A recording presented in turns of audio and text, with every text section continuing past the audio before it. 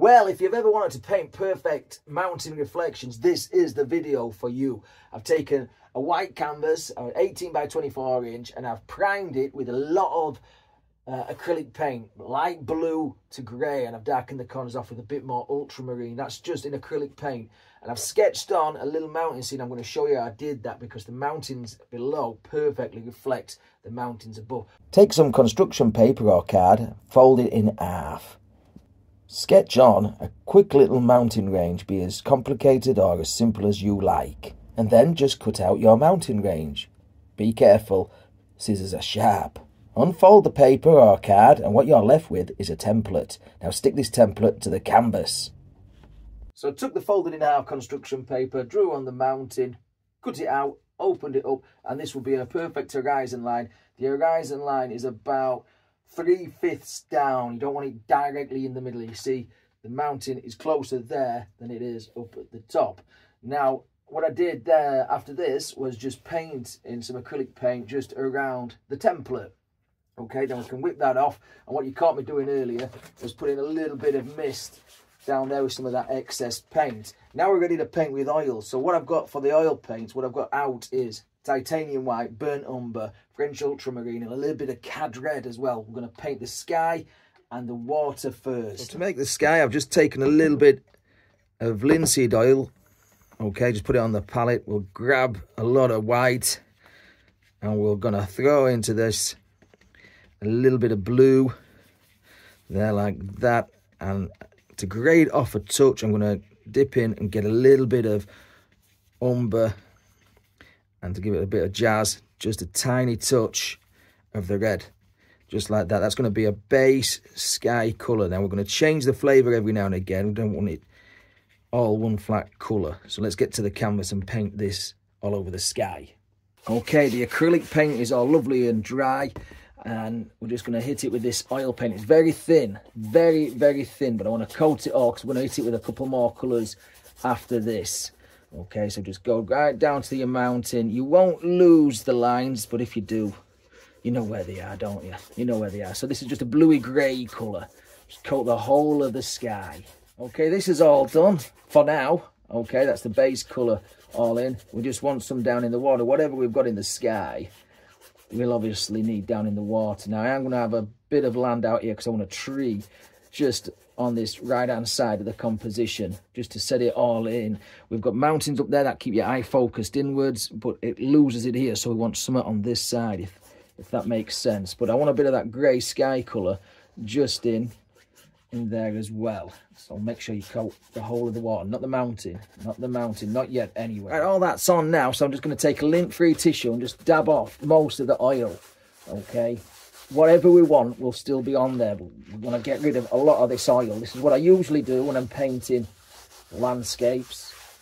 Some folk use liquid white or magic white, clear gel or something like that. I find that the linseed oil gives a bit more smoother application. That's just my that's just my thoughts. Okay, I'm just going to wipe all that off and maybe a little bit down here. I want it still pretty pretty damp down in the in the water because we're going to move a lot of this. Okay, look at all that that's come off there. Now we can hit this with some more sky colours. Okay, use an artist brush now, not that big old thing you get from the from the hardware store. Okay, I'm just using a bit of light blue. It's almost white and I'm just going to go across the mountain just like that just with that white color okay and back down there we want it paler around the mountain and then again same down here in the water just go for it make it make it loose but something very similar okay because we've got the linseed oil on we can blend as we put more colors on but i'm just having some of this white just down there like that Okay, I've picked up a little bit more blue and a little bit more red, and I'm just going to float this above, you can see where the red is there, just above that white area. Okay, big brush, fill it in in no time. And then same down here along the bottom as well, flip it over, get a bit of that red in. There, like that. Blue, brown, and a little bit of white, and we'll just hit the corners, darken them off a little darker. That might be a bit too blue. We might have to hit that with a bit of brown. We'll shall see what we go. Paint over the easel as well. No problem. Okay, I've taken a dry, clean dry brush and I'm just going to start off in the light area. And I'm just going to tease that light area up into the blue and the brown and the red. Okay, I am losing some marks there, but that doesn't matter. Before I go up further in there, I'm going to do the same down at the bottom.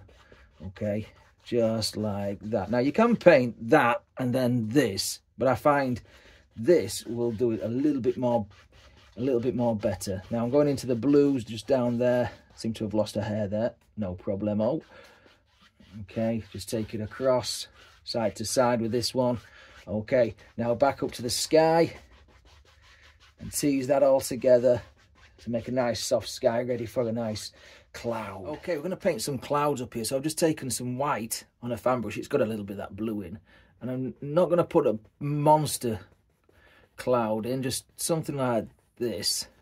And the more you touch, the more it'll pick up the underpaintings that we've done. But I just want a little indication of a cloud, just somewhere like that, that, that feathers out. Maybe it's a flat bottom cloud, like so. And we'll put some grey underneath that, just to give it a bit of shadow. And maybe we'll have another one up. We'll have one up in the corner, but we'll have a smaller one just there the back behind them floating behind the mountain or something like so maybe something down here far far away you can hardly tell that they're there okay into that white I've just picked up a little bit of blue and brown. Still lots of white on the brush and I'm just touching the underside of these clouds with that little bit of colour okay? Not much maybe a bit on that one. There like that just teeter it in like so. We'll blend this together with a very soft brush in a moment. Okay with a very delicate soft brush i'm just teasing the colors together just to take off any sharp edges like so like that. And then i'm just going to fluff up change the brush around. I'm just going to fluff up the top of the clouds just like that. I know i'm looking like i'm really hitting the canvas but only the tiniest touch is touching the canvas. Only the tiniest part of the brush is touching the canvas. Just very gently take it away into nothing. And across these stringy clouds just like so. And then we'll complete this process down in the water okay i'm just using those same colors those gray colors and i'm going to start off on this far mountain okay and what i'm doing is just adding in a little bit of something just redefining the lines it's just a very pale browny grey. Remember, this one I want to be far away, so I don't want much definition. I just want to make sure I paint over the, the original lines. There, like so. And again, whatever we put on the top, we need to put down into the water. So, we've got to work that just about right. There, so don't make your mountains too complex on your first attempt. Something like so take a step back every few seconds as well, every uh, at least every minute or two, just to see if your mountain is looking right and your reflections are looking right. So I think that's about where I want to go with that one for now. If any of these pockets show through, that's okay. We're okay with that. It's been painted, so we're not too too worried about that. It's no white canvas. Any white parts you can see are what we've painted on. Okay, a little bit of pale blue for the shadowy stuff just down here again I don't want major definition just on this one and again whatever we put up there we're going to put down here as well okay don't have to be true but get it something like okay different brush and I'm just to hit it with a little bit of straight white here and there Let's Make sure we get the cap on the mountain there. It's a softer brush this. So I'm not scrubbing in any paint. I'm just putting in some snow between the rocks and wherever we want it. Because maybe it comes down there like that. We're to have some mist down here as well. Okay, back into some more paint. Again, whatever we've done upstairs, we need to do downstairs. And make sure you take the angles right as well. Uh, like that and of course we go that way so it wants to come out there like so. so what you can see me doing is just adding various shades of this grey colour on there this has got a bit more brown than, than there because it's a little bit closer to us but whatever I put up here Like so, I'll mirror that down here. Okay, and again, it doesn't have to be a perfect reflection. No one's going to really tell, but you want it something like. And I'm using a really stiff bristled brush for, for this. Okay, uh, a little bit lighter down there, a little bit less pressure perhaps.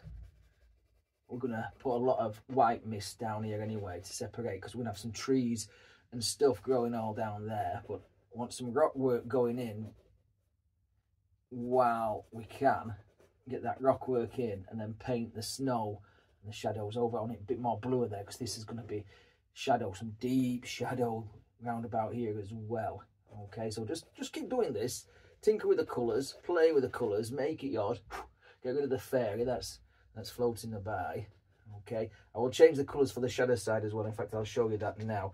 Just pick up a little bit more blue. Remember i'm just using the same colors red brown blue and white added a bit more blue to it. Okay well add a bit there. So it's a little bit darker bluey shadowier gray all right. Using the same colors will mean it's a little bit easier to control okay? If you've got a massive palette full of lots of colors you're going to end up diving into a little bit of bit of all sorts and we don't want that. So where did that start start there and it goes down there. That fairy is still about. Just push it in like that and keep stepping back and having a check on your work. Now i'm not gonna lie this does take a little bit of time. Okay so just keep keep plugging away at it. Okay i think i'm about ready to put a little bit of mist down across here. Okay i'm not going to be too concerned about this part just yet. This is another headland that's our mountain straight in front of us. So uh, let's take this little uh, it's a it's a wash brush so it's got a little bit of white on and i'm just going to fuzz and blend this area down at the base because I want some little trees and stuff like that. Now, I've painted all this in individually with the brushes, but you could quite easily do this with a palette knife. And I have done a video on that, which will be popping up in the top corner right now. If you want to see it done with a palette knife and a black gessoed outline.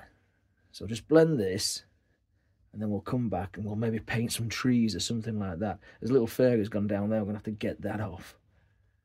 What I'm doing on this little outcrop of mountains is just gently adding a little bit of texture because it's a little bit closer to us so we can see a little bit of texture whereas I've blended all this texture away with a knife so just go a little bit at a time again emulate the top to the bottom you know, whatever you've got upstairs, you need downstairs, right? Mountains all done up and below for now.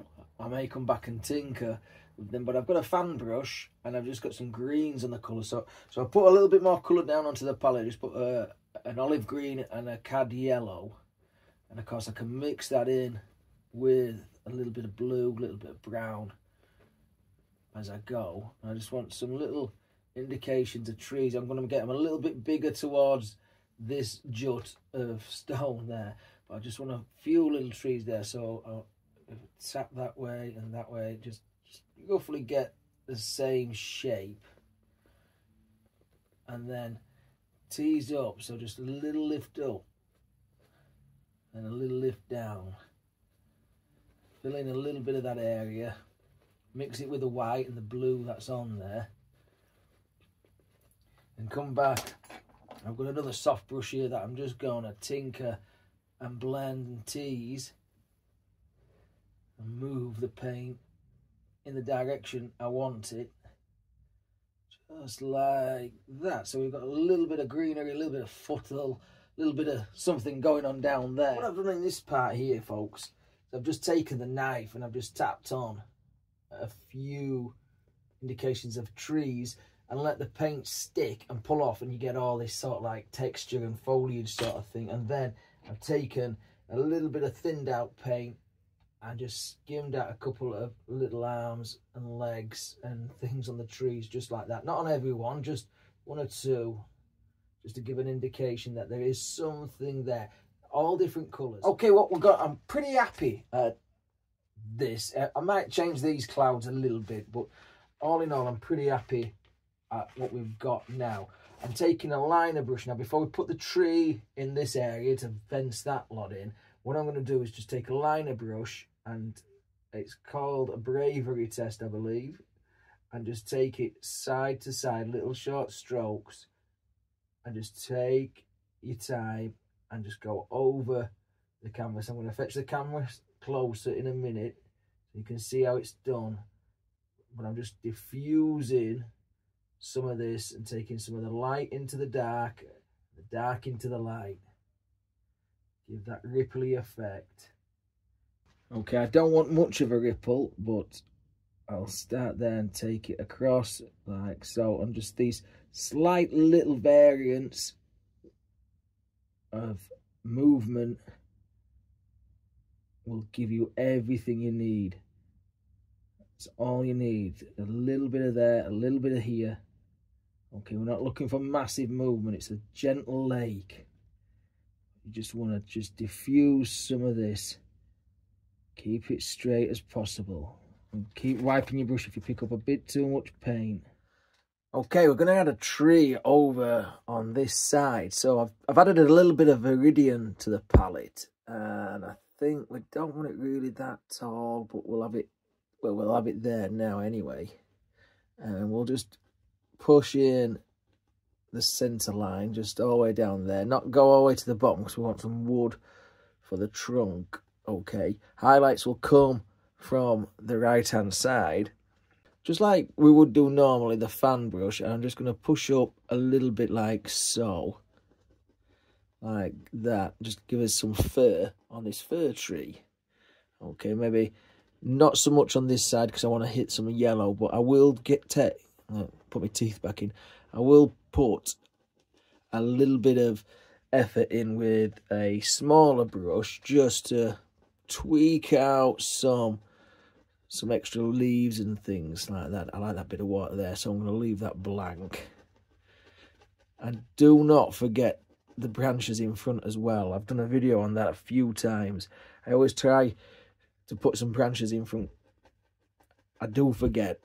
I do forget, but uh, anyway, so nice and thick down there.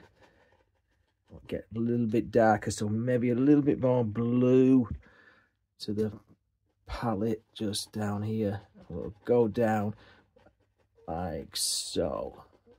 And then once we get to where we want to be, like that, I think.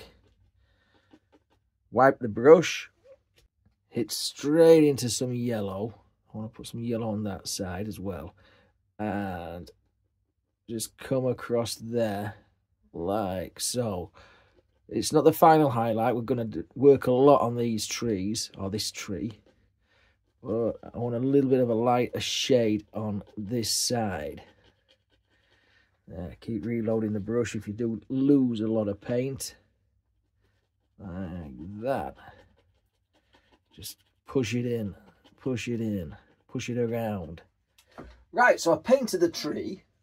Okay. Uh, I added a few little sticks and twigs and, well, a few little leaves and stuff. And then I put this lint-free tissue on there just to dry it out a little bit. Look at all the oil that's absorbed into this. That's absolutely crazy stuff. So, look at that. That's bonkers, isn't it? Okay, save that. We can use that side to just dry the brushes on. Okay, but now we can work on the tree. You can see I did a little bit of highlight there, a little bit of dark on there. And we're just going to emphasize that a little bit more now. Uh, not forgetting the brushes, uh, sorry, not forgetting the sticks and stuff, the, the limbs, the the the uh, branches that live out in front. So a little bit of thin oil and I'm going to work on a, a branch, let's say about there. Okay, and I'm just going to tweak a little bit just add a little bit. It's got one drop. Yeah, that's it.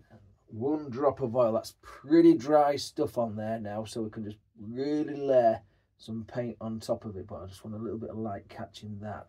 Work it back like so, and then we can change the flavour of the paint every now and again to give it a little dark side, a little bit of a shadow side. So I like might sneak in there and hit that one.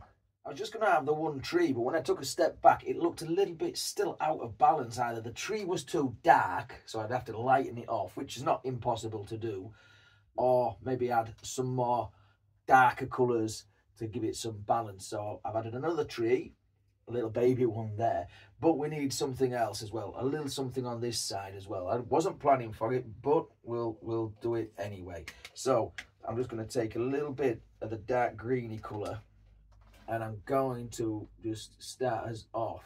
I think we'll go taller than this tree, so maybe about there, I think. Just put a bit of paint on now. There's plenty of paint on this, so we are going to have to work pretty carefully, I you know, I say, as we go down. I'm going to put a, a dead tree trunk just in this gap here. I think it still needs that just to tie everything up. So uh, just a mixture of browns and whites on the palette knife and we'll probably start about there and just draw it down. I'm going for the lightest colour first. I'm going to try and dodge any of the foliage that's there. Okay, a little bit of darker colour on a brush and I'm just going to just put this in wibbly wobbly fill it out a little bit there. Like that. We'll probably have to work around these these leaves and branches just down here but you know I just don't want any green in the trunk that's all. Maybe I should have wiped it off. Doesn't matter anyway. There we go. I think we're about done. I really I've enjoyed painting this one. I really like the crystal clear water that this uh, this composition gives. Uh, we better stop with the trees or else we'll end up with a complete forest across the whole foreground but if you've enjoyed this one, please like the video. If the uh, if the uh, paper, the construction paper template helped you out, let me know down in the comments. Subscribe if you've not done so already. And until next time, take care of yourself. Stay safe.